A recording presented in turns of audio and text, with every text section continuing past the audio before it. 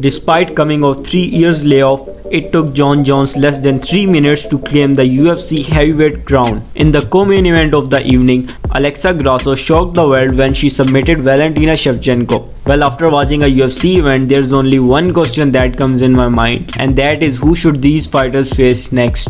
So before wasting further time, let's start the video.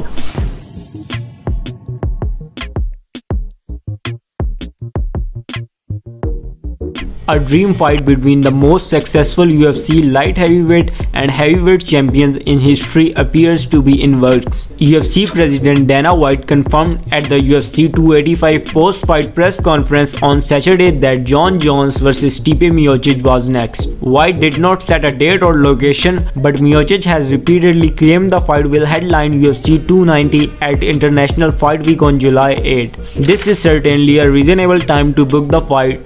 Jon Jones deserve to be UFC heavyweight champion and Miocic is the best situated for the title shot.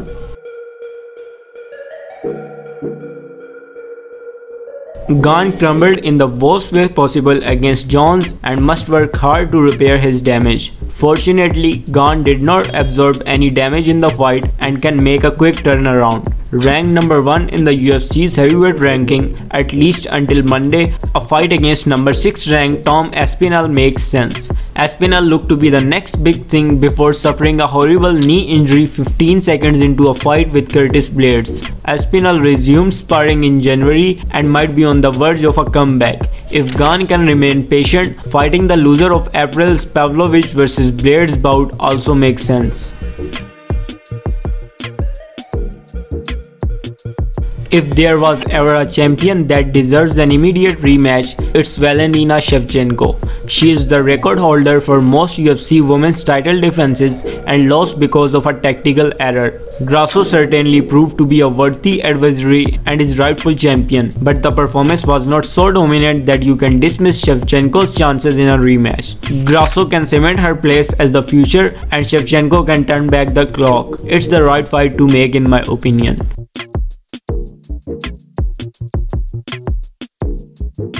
It took Rakhmonov until the final minute of the final round, but he scored his 17 career finish. Rakhmonov made good on lofty expectations as a credible world title threat 5 fights into his UFC run. He is a violent force that can stop you with strikes or submissions. He outstruck Neal, one of the most powerful and technically sound strikers at welterweight. Before choking him out, Dana White said that Covington has been itching to fight. Khamzat Chimaev's future at welterweight appears murky and Rakhmonov is poised to take his place as the new welterweight destroyer. A win for either fighter would significantly boost their stock and give them leverage for a title shot.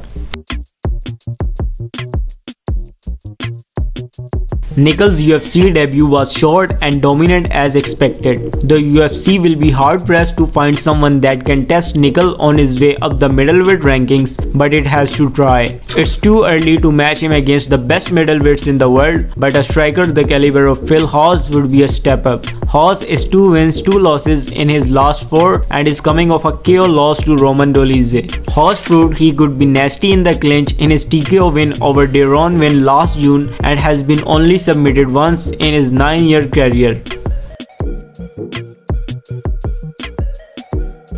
Dricus du Plessis is now entered in the elite section of middleweights. While his opponent is the obvious choice, Cannonier does not have anything booked. He is less than one year removed from unsuccessful title bid, but he's coming off a win over Sean Strickland. It would be Cannonier's fighting down in rank, but that's justified. Given the recent time of his title shot, this would be a big fight for both and the correct one for the division.